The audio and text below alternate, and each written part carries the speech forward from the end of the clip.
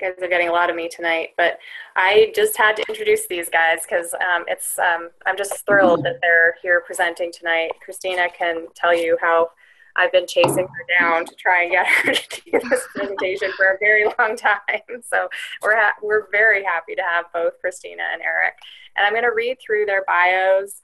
Um, and then I will um, pass it off to Eric. Eric's going to share share his screen. And Eric, if you want to go ahead and just start sharing your screen now, that's fine. Okay. okay. I'm going to read Christina's first and then end with Eric because I don't want to interrupt the program as we're going. So, born and raised in the foothills of the Rockies in Colorado, Christina Bear finds fulfillment in serving her community. She has recently graduated from high school, Colorado Academy in Denver, where she ran varsity cross country and served on the youth philanthropy board in her school. Christina is headed to Cambridge, Massachusetts this fall to ha- attend Harvard University, and she hopes to major in environmental studies, public policy, and computer science. Christina's motto is Think Global, Act Local. A Girl Scout for life, she earned her Gold Award while teaching minority students computer programming and technology skills. Locally, she has served on the board of Seeds of South Sudan, a nonprofit dedicated to the education of orphans from the genocide in Sudan. She traveled to Senegal in 2013, where she and her schoolmates built a library in a remote village in order to increase literacy. Her community service consists of social and environmental activism, and from 2010 to 2012, Christina did a Radon Awareness Project, or RAP, with Eric to educate their neighbors about the dangers of radon and the associated risks of lung cancer. And I'll include the, the link for that in the chat little, a little bit later. Their advocacy grew in the state of Colorado at city councils, state health department, and state capitol and included public policy. Christina and Eric were honored by several national awards for their work on radon awareness, including receiving the President's Environmental Youth Award. For the past two summers, Christina has worked as a research fellowship uh, in a research fellowship at the National Institutes for Health to study DNA changes in bacteria and the development of antibiotic resistance.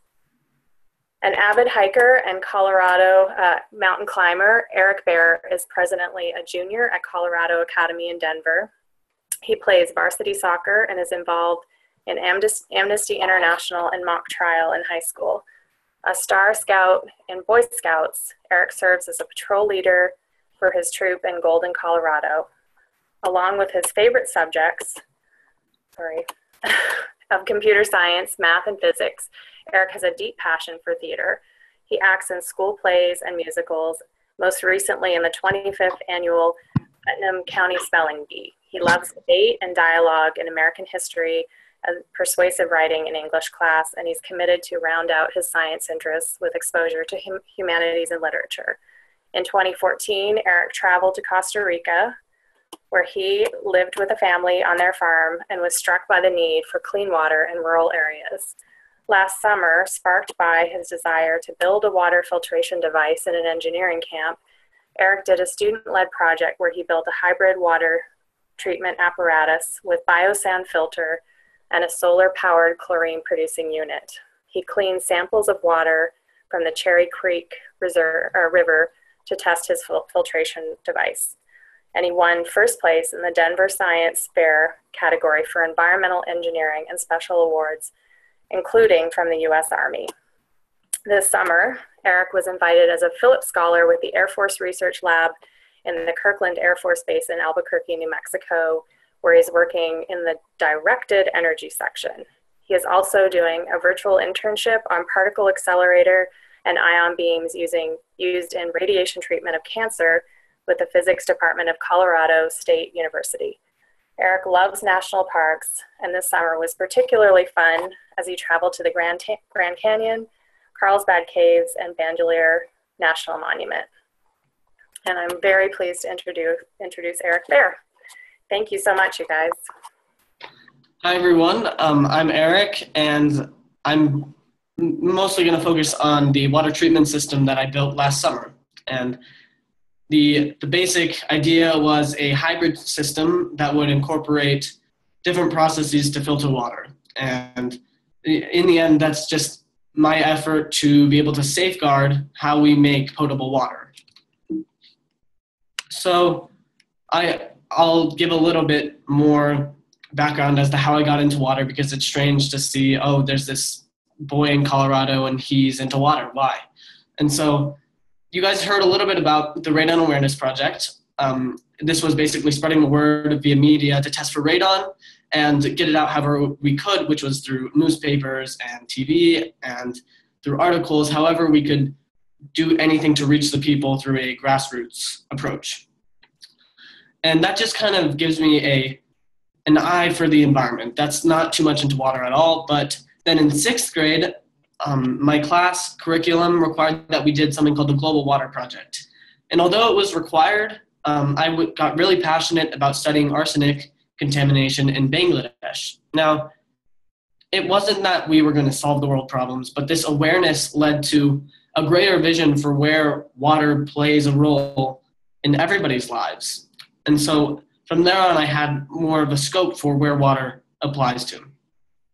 Then, lastly, as um, Eve said, I took a trip to Costa Rica and I got to stay with a homestay family, but we weren't allowed to drink the water that the city used because or the village used because they got it from a river, which was usually clean, but when it wasn't, they'd be using city contaminated water with chemicals and different contaminants without any sustainable methods for water treatment. And this is a big eye opener. I thought that, well, this is a this is a sign. I mean, is there a way that I can make a difference, or at least find a way to filter water that could work for a small community? And so that's where the purpose comes in for my project. Now, I'll give you a little bit more background on who I am because, I mean, just uh, you guys heard a little bit about me. I'm I play soccer. I love theater. I love to act. I'm a Boy Scout. I do mock trial. I play some instruments, ukulele and piano primarily. I oh mock trials on there twice. Whoops. Um, and my passions in school are math and science as well as programming. So last summer, it was that math and science that really led to this water treatment system. The goal was how can we design something that's practical, that's cost effective, it's easy to use, and it's sustainable?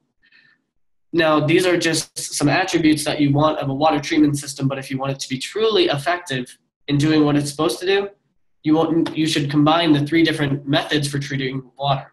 These are biological, physical, and chemical. With these things in mind, I went about creating this water treatment system, and I also wanted to test it. So here are the materials that I used when conducting these tests. I got three gallons of water from different times at different places in the Cherry Creek River, running straight through Denver. So that would kind of simulate a any city contaminated water. Then I had my biosand filter, and as well as my electrolysis unit that produced chlorine. Additionally, I needed some um, some tap water and salt, which are actually the materials used to create the chlorine. I needed some gallon buckets, some containers for the water while filtering it, and a pipette to add that chlorine producing unit uh, solution. Lastly, I needed something to test the efficacy of how my design actually worked. And so I used a total dissolved solids, TDS, as you can see on the screen, um, monitor to find out what the total dissolved solids are in the water before and after. Some tetra test strips, which are used to find nitrate, nitrite, chlorine, pH, alkalinity, and hardness. These are all crucial factors when considering water quality. And my aim was to get my water from above the EPA standard into the ideal range for potable water. Lastly, I need to consider bacteria because that's always something to consider. So here is a little bit about how I made the biosand filter. There's two designs on the bottom. There's one that shows what's inside the filter. It's primarily uh, fine grained sand, a little bit of gravel, and some perforated discs between each of the layers. Now on the um, right bottom corner, you can see a SketchUp model that I made. These 3D renders were really important because the engineers that are I was working with required that I have extensive planning so that I could make sure that my design would work. Ultimately, it required that I made some type of stabilizing mechanism. So say you place this in a rural community, it might not have the proper sustainable methods if it's just going to be a standalone tube. And so in the end, my design turned out to be what you see on the top with the stabilizing mechanism, the water, and the filtration happening in real time. Next, I'm going to show you guys the electrochlorination unit. This is something that I found on the internet. Um, excuse me. I found it on the internet as a base model of how it can take salt water, everyday ta table salt, and turn that into something that can clean water. It's a crazy idea, but with the chemical processes that you can do with electrolysis, it makes it possible. so I took the materials that you see on the bottom left and I made it into the filter that you see on the right. Excuse me, a little bit of a dry throat. And then on the top right, you can see how much water and how much table salt it takes to make this solution. It's only five ounces, and this scales up to about 500 gallons of purifying water. Next, I'll tell you about the methodologies for testing. Um, like I said, I had to con construct my treatment system. I had to get the three different gallons of water. I had to treat, treat it using the biosand filtration as long, or along with the chlorine and then afterwards test it for those various things that I mentioned before. So I'll, I'll show you a few more pictures just to give you a little bit of the idea of the procedure. First, I need to make the purifying solution. So it's kind of a, a preparation phase where you'll take your salt water, a very small amount of it, and you run it three or five times through the electrolysis unit. This produces something called sodium hypochlorite, which is it is it's similar to bleach, about half as concentrated, and it's not going to really damage your health at all because that's the exact opposite of what I want. So once I got the water, I recorded the levels of where these contaminants were at so I could get a before and after picture. Then I treated the three separate gallons of water um, by filtering them through my biosand filter, then adding the drops of the purifying solution. Lastly, I tested these and recorded the levels of change and where the contaminants led to. I'll show you many of the graphs that were uh, impressive. Some of them are ones that I won't show you, but I have at the end of the presentation just in case. Those are ones where the levels were either starting within the range or just didn't move much, and so it remained safe. But here's one um, nitrate, which is something that is very bad for your immune system and your digestive system. Turns out in all three trials, my water filtration system, along with the, um, the purifying solution, was able to remove all nitrate contaminants, making it into the EPA range. Next, I have hardness, which is something that um, continues to hurt your immune system as you grow with age. And considering wherever this would be applied or implemented, this is a big factor to consider if it's going to be scaled for an entire community. So in all three cases, um, my water started at a pretty dangerous hardness level, but throughout the process, I got it all into the EPA range. Next, I have chlorine. And you're probably thinking, okay, this, this Katie makes a chlorine producing unit. We don't want chlorine in our water. now, the thing that that was something I really needed to consider, and in only one trial did the level of chlorine raised to, once again, a safe level within the EPA range. But this ensures that if you do use this type of method for water treatment, it's not going to hurt you, it's going to help you. Next, we have alkalinity, which is a, a strange range. It's kind of like pH, where you want it in a middle area. And while treating the water, I had some, some weird results where either it started in the range and went below or it started out of the range and went in but for all three they were in the ideal range. And then this is kind of the crown jewel like i was talking about. Total dissolved solids is a very big part of what the epa tests. They have several different um, standards. You from 0 to 500 is potable. But within that, as you can see on the bottom, there's distilled water, there's aquifer water, there's mountain springs, there's hard water, and then there's tap water. And past 500 is is unsafe to drink, and this was a this was probably the biggest part of my testing, and I was happy to find that in all three trials, the system safeguarded itself by lowering the levels to all within tap water, not just unfiltered tap water, but to a very safe level, um, similar to what comes out of your sink. And so I was pretty excited about that, and that gave me a very good result. Now I'll tell you about the conclusions. As you saw from those graphs, um, my water treatment system was very successful when it removed nitrate and another compound that is very chemically similar called nitrite into the EPA levels. It also decreased the hardness, pH, and alkalinity into the ideal levels. As you saw, there's kind of some gray area where you're above and below, which can both be bad, but in all cases, it was in the middle. And then lastly, the crown jewel, of course, it got total dissolved solids above the, or it got it below the maximum parts per million into the potable water range. And lastly, I didn't have a graph for this because it was a, um, a yes or no, but the bacteria test did return negative when I tested it in all three iterations. So now just to provide some applicability for this project, like I said, it, the inspiration came from a small community. This idea would work in a small community. So I, I propose that with the hybrid design, it safeguards how clean your water is with all three different types, biological, physical, and chemical. And it has a large output suitable for not only a family or household, but moreover a community. And that's really where we're aiming at. Um, just to give you some future scope, because the project's not necessarily done, I have done some testing and have some results, but with more resources, I can test for heavy metals and I can compare those to EPA standards. Also, I can test different water sources because I'm not only going to be using this for the Cherry Creek River, but rather other places. And that's about how much I can give you in a, a brief amount of time, but um, here are some references. I'm sure you don't want to read them, but um, these are just some of the people and the websites that helped me with the design. And in the end, I, I'm pretty happy with how it turned out, but I'm also still curious to see what it can do as I continue on.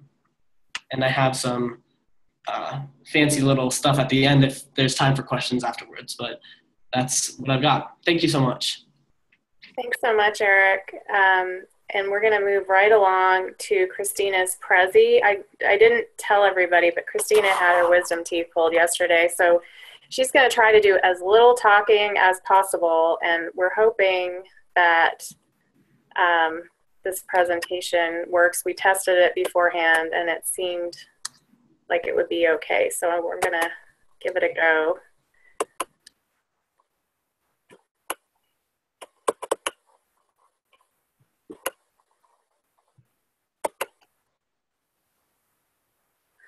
Hi, my name is Christina Bear. I'm a rising freshman at Harvard University. Thank you for inviting me and my brother Eric to speak today about our awareness project on radon.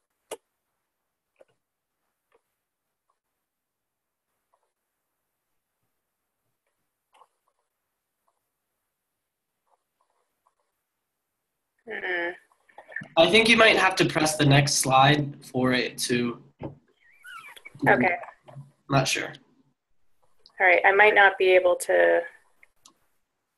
Let me just try something here. Sorry. Of course. Let me get to the actual presentation.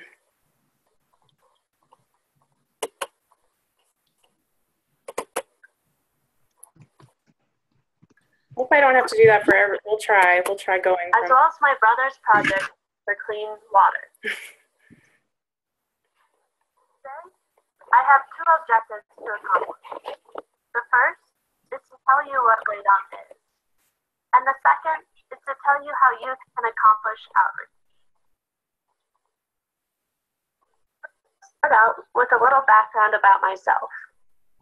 I'm from a small city called Golden, just west of Denver, in the foothills of the Rocky Mountains. There are 300 days of sunshine, but also some intense snow. This is the view from my backyard in the midst of winter. So, how did we get interested in radon? In 2007, on a snowy day, my brother and I were looking on the internet when we found the Radon Poster Contest. This was a national contest, but the extent of our participation was just state level. I started to do some research, and when I asked my parents, they had very little idea of what radon is. They heard about it when they bought our house, but didn't think much of it. I decided to participate in the contest, so I drew a pair of lungs and put facts about radon inside. My slogan was, Keep your radar out for radon. For my poster, my state health department awarded me first place in Colorado. They said they wanted to use it for outreach, and I was certainly on board with that. Here's a picture of my poster. I covered very basic facts on my poster, such as incidents and effects of radon. Following in my footsteps, my brother also did a poster with the motto Detect to Protect in 2009.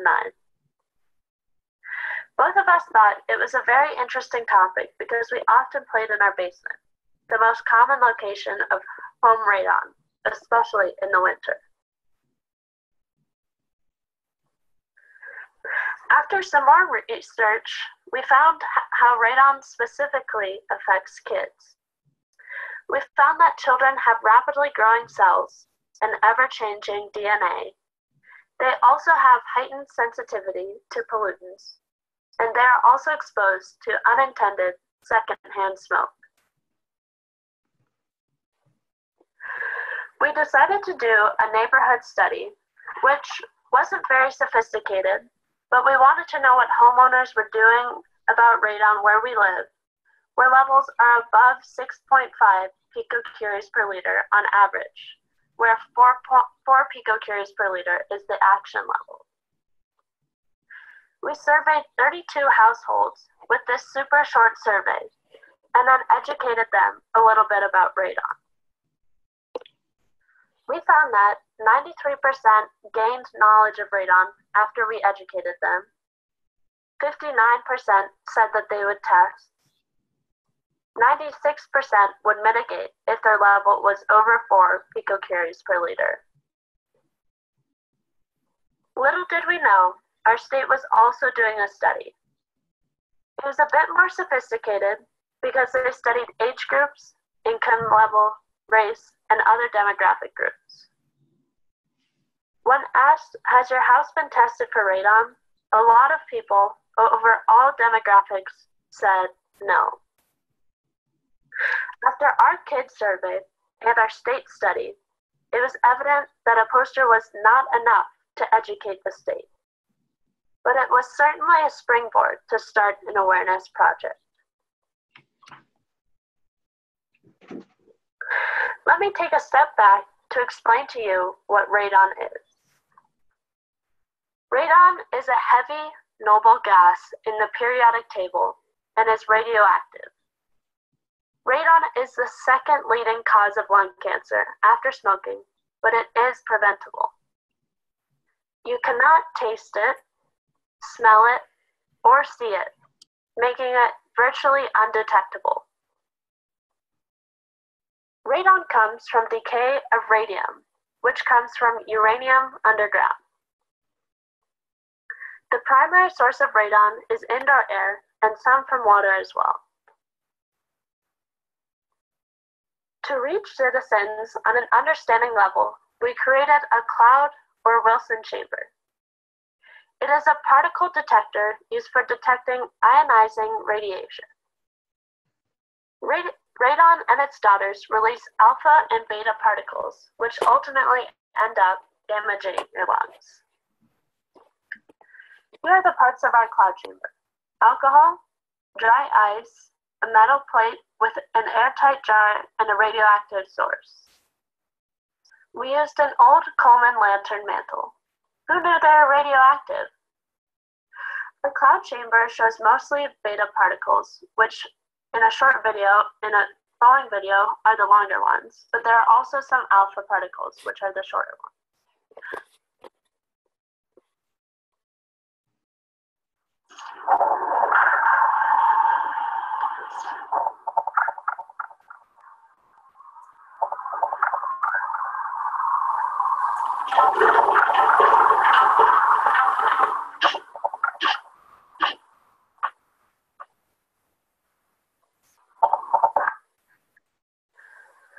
Radon decay products attach to particles, dust, or smoke and get into your lungs.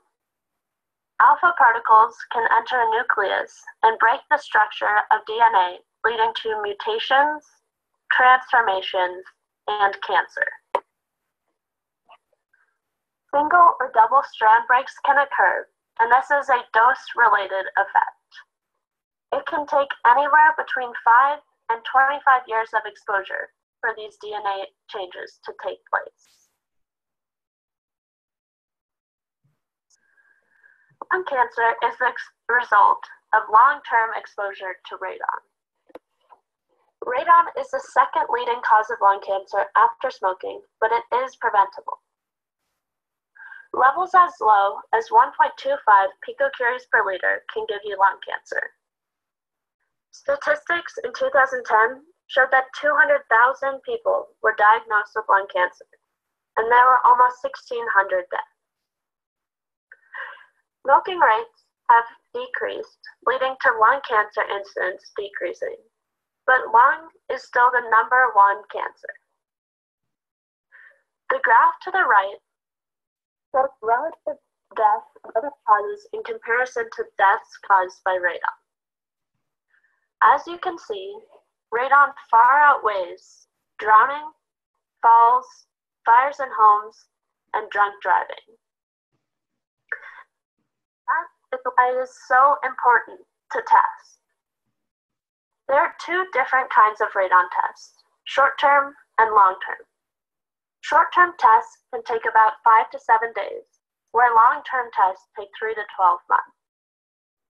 If your radon levels are above 4 picocuries per liter, there are several methods of mitigation. Some of these include sub-slab depressurization, a fan and a pipe, and sealing foundational cracks and pipes.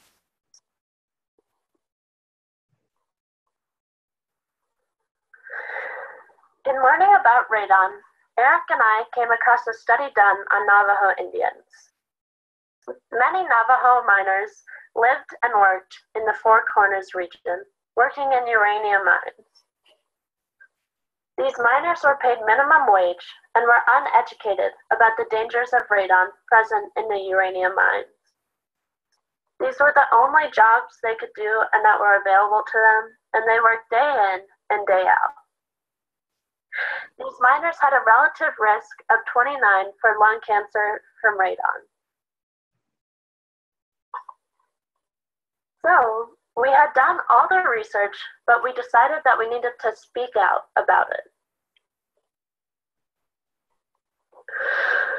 Brainstorming was our first step, and we asked for radon leaders to get into one room to discuss and share outreach methods and their best practices.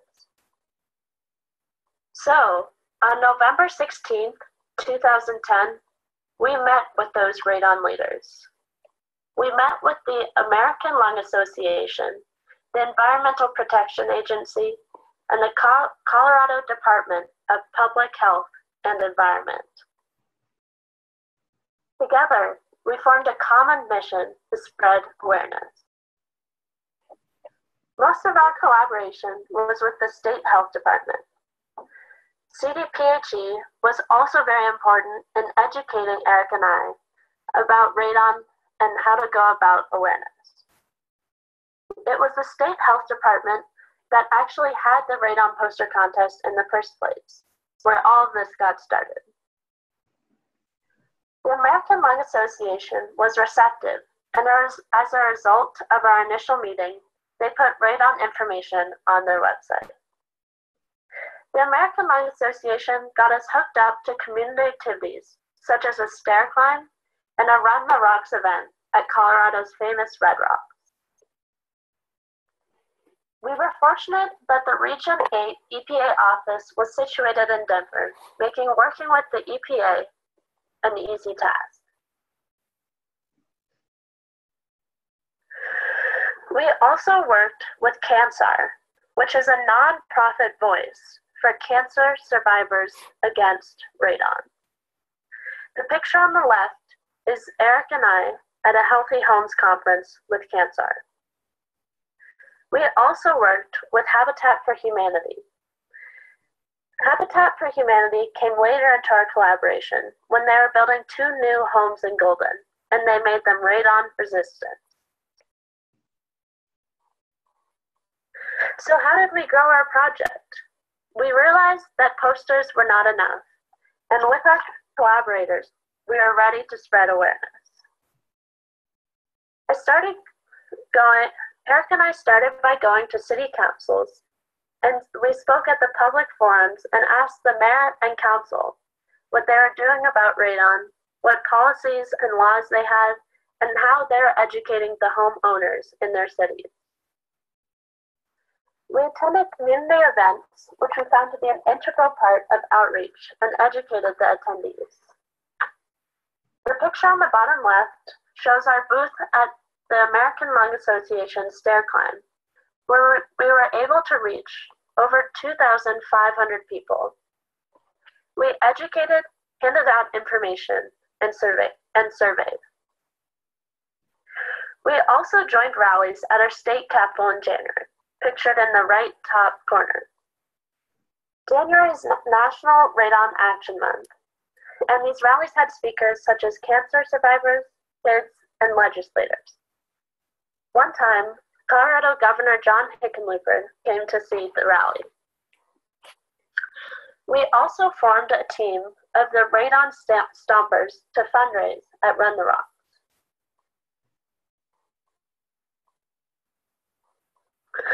We also decided to reach out on a county level Eric and I spoke to my Girl Scout troop about the our Radon Awareness Project. I also spoke to female Colorado legislators on the 100th anniversary of Girl Scouts in 2012.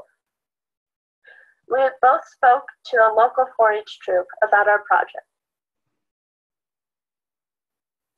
So what were some of our methods of outreach? Well, we started with the poster, and then we made brochures and handouts and finally, a website. Our website is radonawarenessproject.com. Then the newspapers found us and we found them. Here are just a few from the Golden newspaper called the Golden Transcript, the Denver Post, which is our state newspaper, and Time for Kids. We also initiated a House bill 121165 in 2013.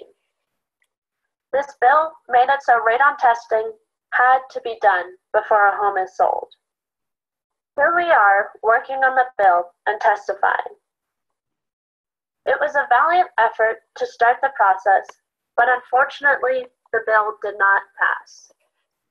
However, we did get the ball rolling on radon legislation and learned about the intricacies of engineering a bill. We, another form of outreach was that we sent letters to 500 schools to get more kids involved in the Radon PosterCon. A big, th- part, a big thing that Eric and I learned from doing the Radon Awareness Project was the concept of bottom-up and top-down awareness. Top-down means formal learning and legislation. Bottom up means involving youth, informal learning, everyday integrated education, community involvement, and grassroots. You need both for effective awareness. The CDC is very involved with radon here in Colorado. They've recently given a $1.5 million grant to Boulder Public Health to study the effects of radon. So what's the big picture? The big picture that Eric and I learned from doing this project on radon and environmental awareness is that one cancer is prevented, potentially prevented if one does not smoke and mitigates radon. We learned that children can be ambassadors for environmental hazards, not alarmists, but just aware of what they breathe, the water they drink. When grassroots efforts combine with legislative efforts, awareness is accomplished. I was curious about DNA and damage and repair after doing the Radon Awareness Project. So, two summers ago, I applied to the National Institutes of Health to be a summer intern. So, for the past two summers, I worked on antibiotic resistance in tuberculosis and E. coli. And while that was a slight branch off of radon, I still got to immerse myself in the bench science of DNA damage and repair. Thank you so much.